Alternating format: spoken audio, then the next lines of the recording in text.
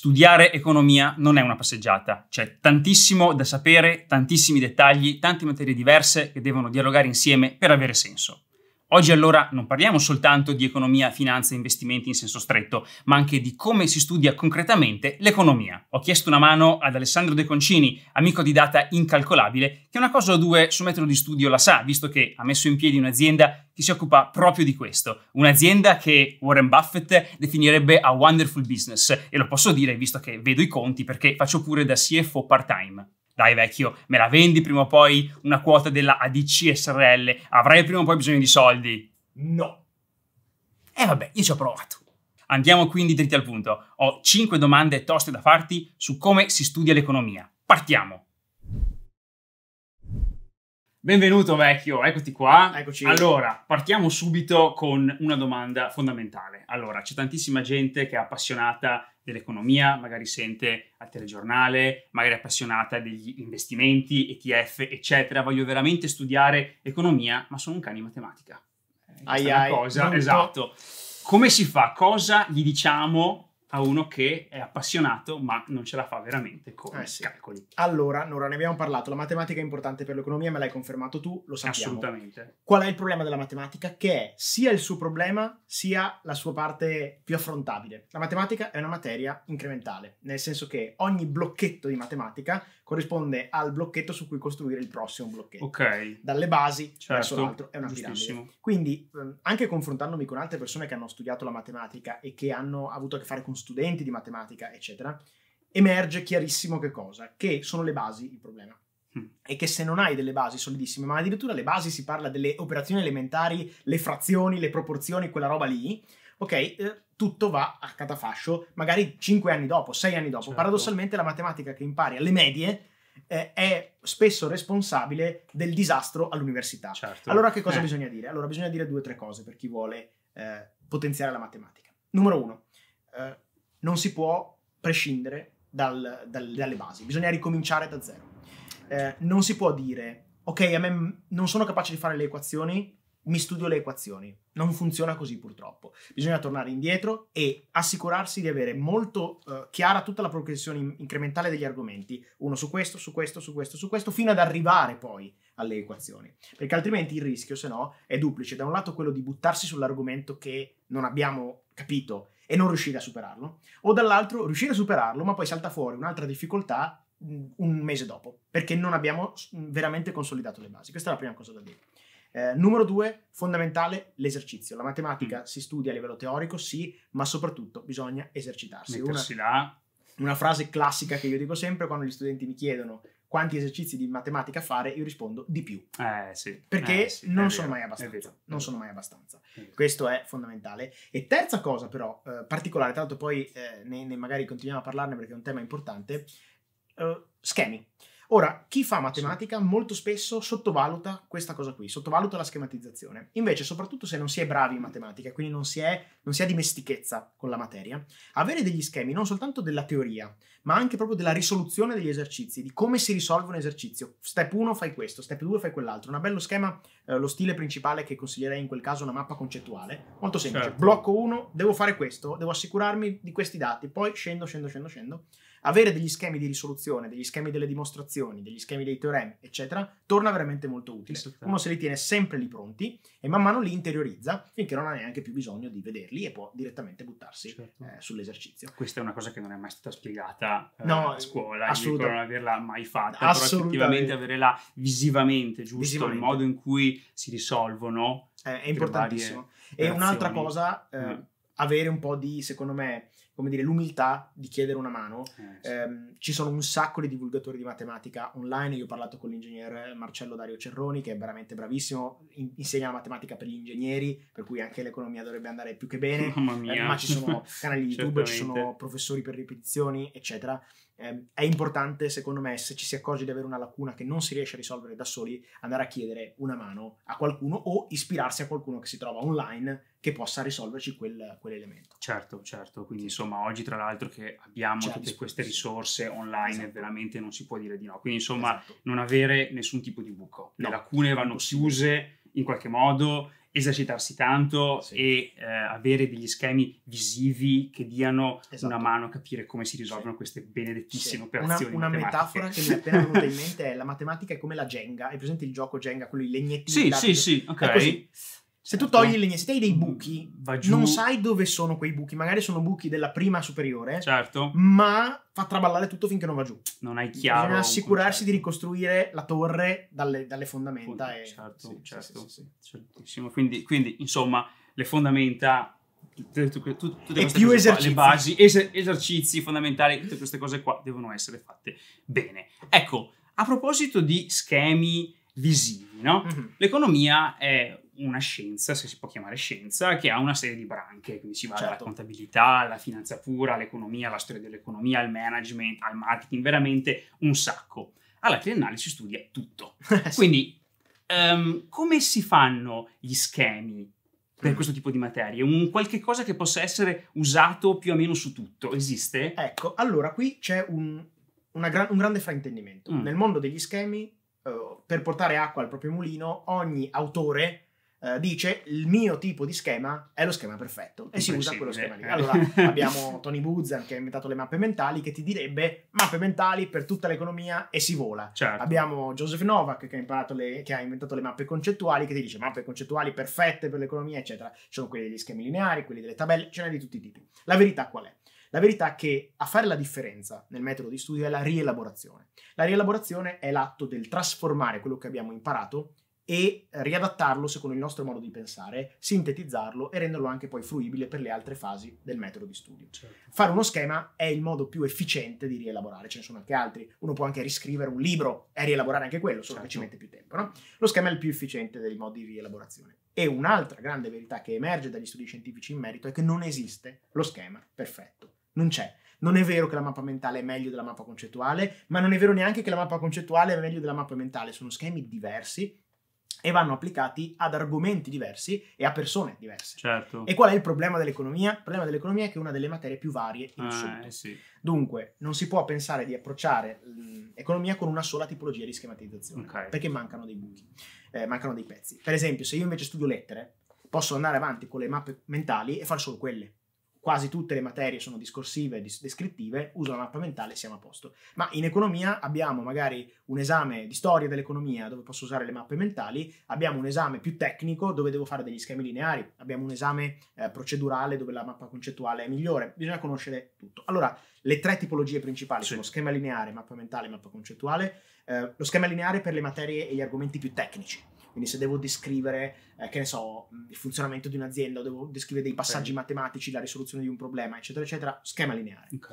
Eh, per tutte le materie descrittive e eh, più, e più, mh, come dire, di ragionamento, la mappa mentale va benissimo, per filosofia dell'economia, per storia dell'economia, ma anche per concetti macroeconomici, per esempio, Certo. lì la mappa mentale è un'ottima, un'ottima strategia. Per invece le procedure, che ne so, come funziona un- una riunione di un consiglio di amministrazione, step 1 fare questo, questo e quell'altro, la mappa concettuale a quel punto a blocchi funziona molto bene. Capito. In più. Non dimentichiamoci tabelle, Eh, formulari, certo. Linee del tempo e schemi quindi complementari che possono essere utilissimi nel- nel- nello studio dell'economia. sì. Chiarissimo, chiarissimo. Quindi per le materie tipo statistica, matematica Sì. finanziaria, lo Lineari. schema lineare, giusto? Lineari, per avere appunto La mappa mentale di statistica non è si può possibile, vedere. non si può, esatto, No, non è si può.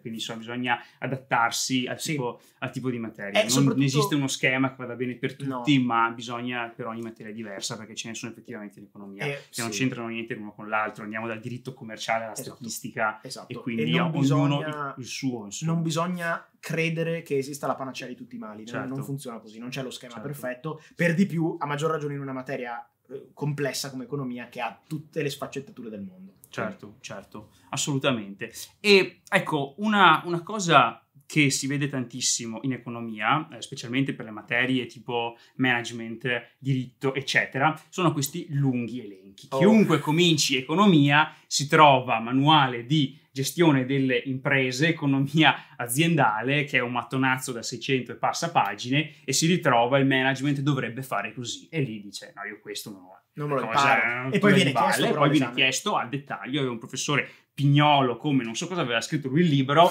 e voleva l'elenco, ok, come l'aveva scritto lui, eccetera, eccetera. Quindi là bisogna imparare sulle memoria, c'è da fare.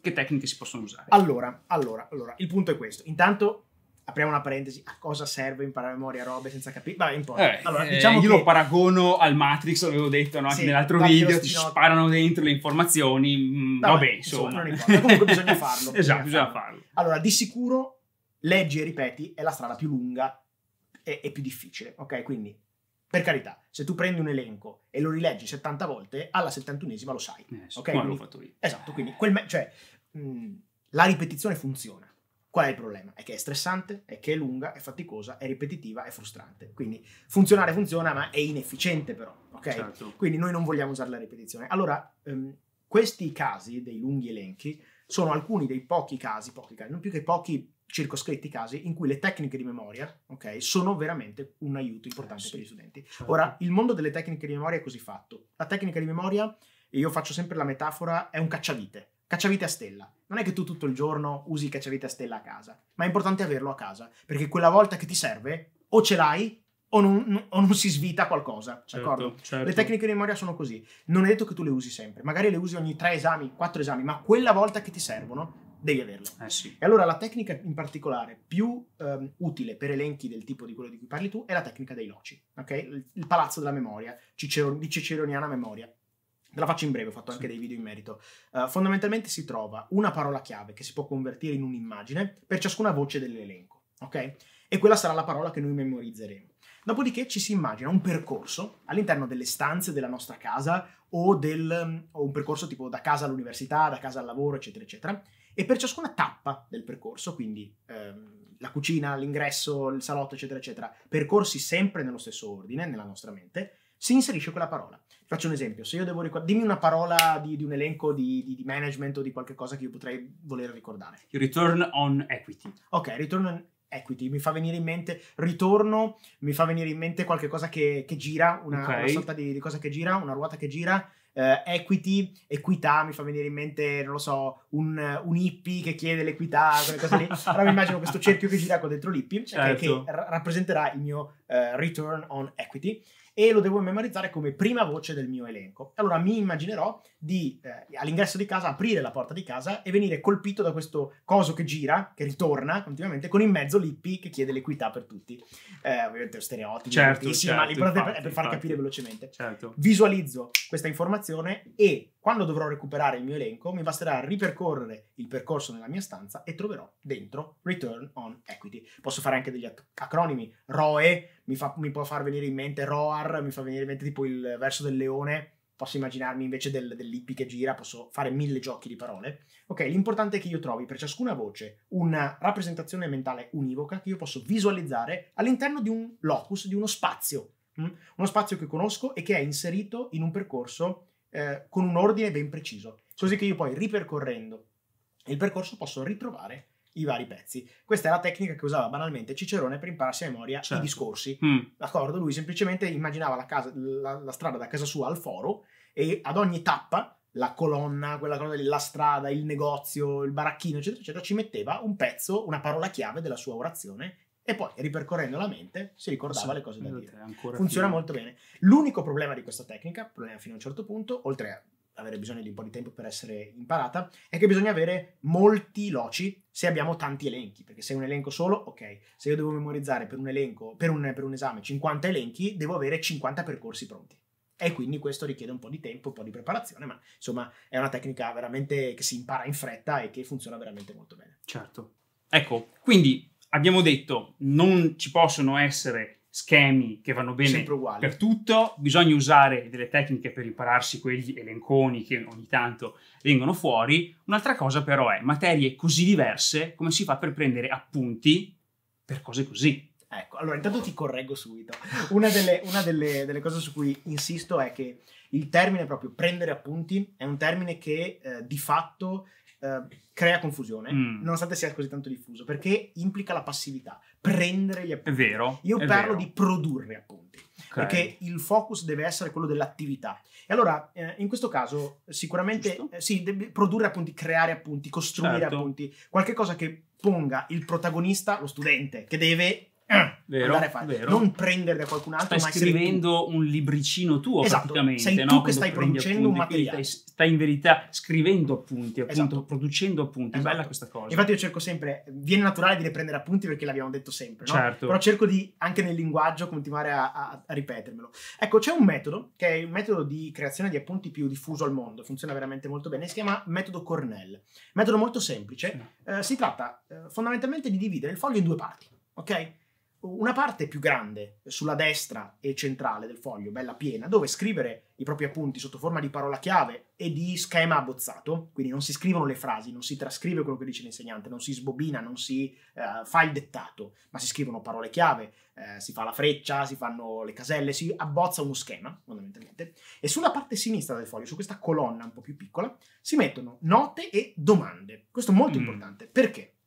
Perché mentre eh, scorre la lezione, eh, e anche a- subito alla fine della lezione, c'è anche magari uno spazio in, in basso, si può mettere per un breve sommario finale, eh, si sta attenti a quali domande potrebbero venirci poste su quegli argomenti. E allora, contemporaneamente, mentre si ascolta la lezione e si appuntano appunto gli appunti, appunto gli appunti, ah, bellissimo gioco di parole, Esatto. vabbè, ci si segna anche che domande potrebbero essere poste e quindi in questo modo si fa un doppio lavoro. Innanzitutto si fa un lavoro metacognitivo di ragionamento sul ragionamento, cioè vado a capire anche quali saranno i punti fondamentali da studiare poi, ma soprattutto si creano degli agganci, queste domande che, si- che poi saranno elencate eh, sulla parte sinistra del foglio, eh, che io potrò comodamente andare a rileggere in un secondo momento e richiamare alla mente gli appunti in questo modo. Quindi io leggo Mm, la domanda bello. e richiamo la risposta. Certo. Questo è già un principio, tra l'altro, ehm, di testing, che è una delle, delle attività più importanti per lo studio efficace, e funziona veramente molto bene. Quindi eh, il mio consiglio è, le materie sono molto diverse, impossibile impostare in diretta uno schema perfetto con tutti i crismi, colorato, eccetera, non c'è il tempo, non funziona così. Allora, mi divido il foglio a metà, da una parte mi metto lì e scrivo le mie parole chiave ben organizzate, sempre cercando di dare una struttura gerarchica, quindi non si scrivono parole buttate lì sul foglio, ma le si col- correla con delle frecce, delle caselle, eccetera. Sulla parte invece sinistra una bella colonna con domande, domande che posso compilare durante la lezione o dopo, magari finita la lezione mi prendo 5 minuti per fare il punto della situazione, buttare giù un piccolo riassuntino e farmi una lista di domande Certo. che mi saranno utilissime poi anche quando andrò a studiare sul libro quegli argomenti, perché saprò già a cosa voglio sapere la risposta. chiaro. Non solo, ma se sto attento a come l'insegnante insegna, ho anche già un insight su come sarà l'esame. Perché generalmente l'insegnante va a battere a lezione su quelli che sono i temi che gli interessano di più. Eh, sì, per forza. per allora forza. se io già preparo le domande prima, sarà molto più probabile che siano domande analoghe a quelle che poi mi capiteranno all'esame. Certo, Quindi funziona è un alla grande. Metodo estremamente intelligente Sì. per, eh, diciamo, imparare e al tempo stesso anche avere un occhio all'esame e Esatto. non arrivare lì avendo magari studiato cose che non c'entrano niente, che il Esatto. professore non sa neanche che, che ci siano, oppure Esatto. ha lasciato per ultime, ma invece essere nelle cose importanti proprio. Certo, metodo fuori. Cornell, Oh, è una met- bomba. Metodo Cornell, ottimo. Ecco, ehm, come si può migliorare la capacità logica? Mm. Questa è, un- è una cosa che, allora, ehm, la logica è fondamentale in economia.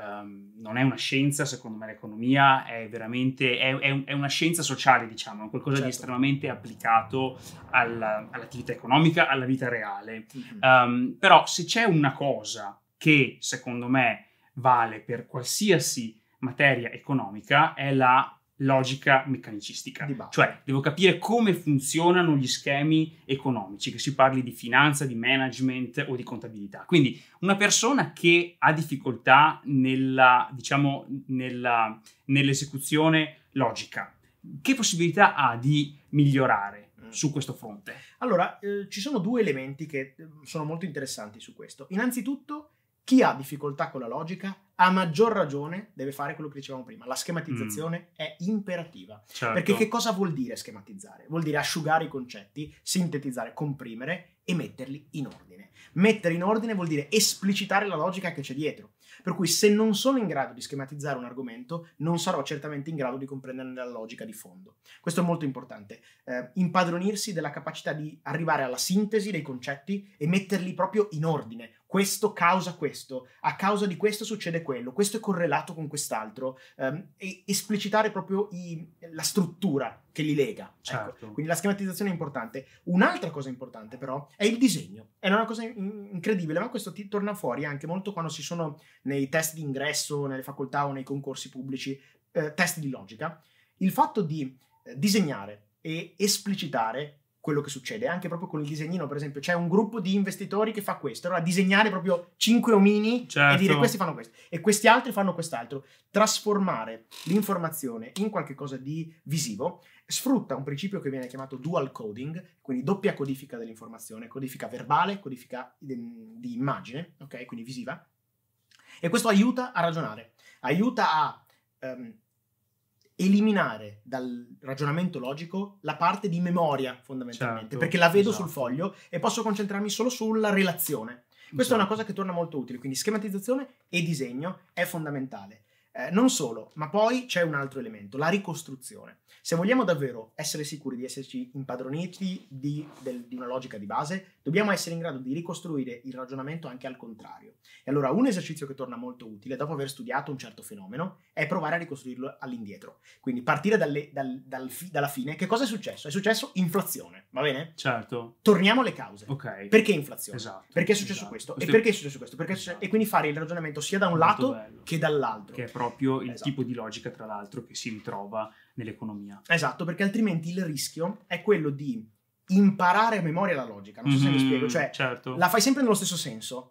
Ma poi se il senso è contrario, oppure se si parte non dall'inizio ma da un pezzo dopo, vai, vai in, classico, panico. esatto. Invece se ti alleni a ricominciare dall'inizio alla fine o magari da un punto in, in mezzo, ok? C'è della disoccupazione, cosa potrebbe succedere? Potrebbe succedere questo, potrebbe succedere quello. In quel caso è successo questo perché c'è stato questo fattore. Quindi abituarsi a, a vedere i processi logici non come degli algoritmi che vanno in una sola direzione, ma come in più direzioni e anche poterli prendere da in mezzo o da parti centrali. Bellissimo, molto, molto, molto bella questa cosa. torna molto utile. Torna veramente utile e ti dà una visione anche più operativa dopo, perché poi capisci davvero che cosa è successo, lo vedi come un problema che si può scomporre e vedere da più punti di vista. Certo. Vedo tra l'altro eh, con, eh, diciamo così bene, che diciamo alla base di tutto spesso c'è mettere giù visivamente le Ah, cose, giusto? questo. Cioè proprio che il cervello apprenda da, da un punto di vista visivo. Eh, sai che cosa? Non è solo l'apprendimento visivo, che sicuramente c'è, c'è un influsso della memoria visiva, eccetera, eccetera. È che nel mettere su carta qualche cosa, o su schermo, su un iPad o quello che è, eh, succedono due cose. Da un lato, proprio l'atto del disegno attiva certi percorsi mentali che se no non si attiverebbero. Ma dall'altro è proprio come se scaricassimo la memoria di lavoro, nel senso che eh, non dobbiamo più tenere a mente gli elementi, ma li dobbiamo semplicemente usare perché li abbiamo davanti a noi. È come dire, è facile fare le somme eh, a mente. Certo, se io devo sommare però sei numeri a mente, ok, devo tenere a mente Mm. i numeri e poi sommarli. Se ce li ho scritti sul foglio, li seguo e faccio la- faccio- posso occuparmi solo dell'operazione e non del tenere a memoria i, i vari elementi. Quindi eh, il mettere sul foglio aiuta l'apprendimento e scarica la memoria in modo che si possa occupare esclusivamente poi del- della relazione tra gli elementi, e non Certo. del tenerli eh, in bilico come se fosse un giocoliere, no? Certo, Ecco, certo, certo. a volte ci si incasina, se no Ci si incasina, parte la semplicemente. testa perché dici non riesci a tenere a mente tutto Esatto. poi va dove Esatto, e l'aspetto visivo in questo, in questo caso aiuta veramente un sacco. Molto bene, molto bene. Quindi direi che i nostri 5 punti li Abbiamo- abbiamo, abbiamo fatti. Esatto, siamo a 5 li abbiamo fatti sul canale, 5 Esatto, Ti lascio il tuo a posto. copione. Esatto, giusto. Vediamo Adesso devo, devo tornare. Torna al copione, io resto Torno- qua, torno- io guardo la telecamera. Torno al copione. Quindi, Vediamo un po'. Allora, abbiamo Il copione è comunque una grande invenzione. È una grandissima invenzione, altrimenti non riusciremo mai a fare tutto, eh, tutto questo Ora, da soli. via. Quindi, allora, un'idea più chiara di come si studia l'economia ce la siamo fatta. Se volete sentirmi rispondere alle domande che ADC invece mi ha posto, fiondatevi sul suo canale dove troverete la prima parte di questo video, ma nel frattempo iscrivetevi subito al, al canale, perché siamo appena partiti Ora, abbiamo bisogno di persone per far crescere l'attività e poi, tra l'altro, se volete capirne qualcosa di come funziona l'economia, di quei termini economici e paroloni che vengono sparati in giro, scaricatevi il mio dizionario gratuito dei termini finanziari, investi come mangi, trovate il link qui sotto. io l'ho letto, posso testimoniare che non avevo capito, per esempio, lo spread, Ecco, l'ho letto e ho capito si- che cavolo era lo spread. Perfetto, Boh, non si, non si capisce mai e l'obiettivo è che veramente termini finanziari, economici che vi sembrano complessi diventino banali. Questo è il Perfetto. target. Io sono Alessandro Lazzaro e ci vediamo nel prossimo video.